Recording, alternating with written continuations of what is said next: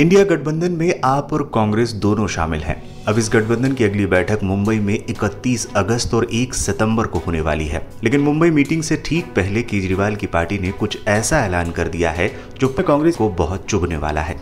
दिल्ली और पंजाब में कांग्रेस को लगभग खत्म कर चुकी आप ने अब राजस्थान, छत्तीसगढ़ और मध्य प्रदेश विधानसभा चुनाव में अकेले सभी सीटों पर चुनाव लड़ने का ऐलान कर दिया है। पार्टी जल्द ही उम्मीदवारों का ऐलान भी करने जा रही है। आम आदमी पार्टी के संयोजक अरविंद केजरीवाल और पंजाब के मुख्यमंत्री भगवंत मान 19 अगस्त को छत्तीसगढ़ पहुँचे।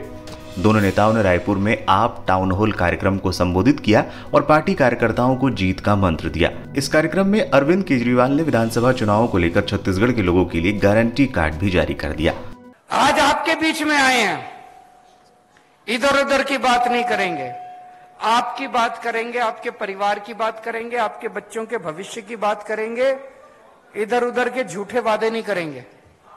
पहले होता था, जैसे अभी मान साहब ने बताया, चुनाव होता था, एक मैनिफेस्टो निकाल देते थे, जो नेता मैनिफेस्टो लेके खड़े होते थे ना यूँ स्टेज पे, उन्होंने ही नहीं पढ़ा होता था उस मैनिफेस्टो में क्या है। झूठ बोलते थे। फिर हमने शुरू किया केजरीवाल की गारंटी।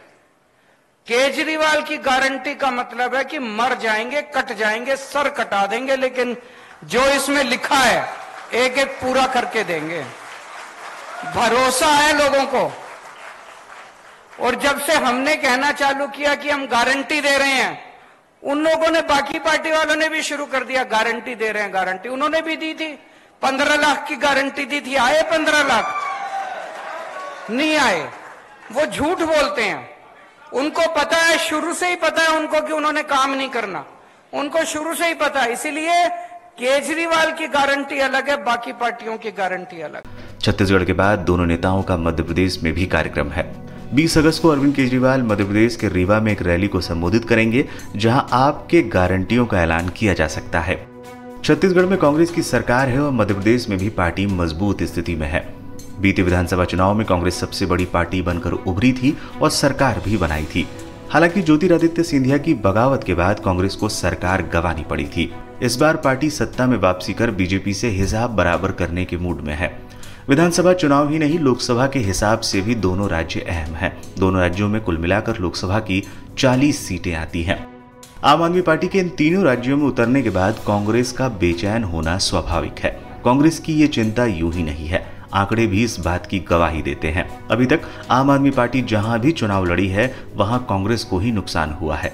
तीनों चुनावी राज्यों में कांग्रेस और बीजेपी के बीच सीधी लड़ाई है। अगर इन राज्यों में तीसरी ताकत के रूप में आपकी एंट्री होती है तो राजनीतिक समीकरण बदल सकते हैं।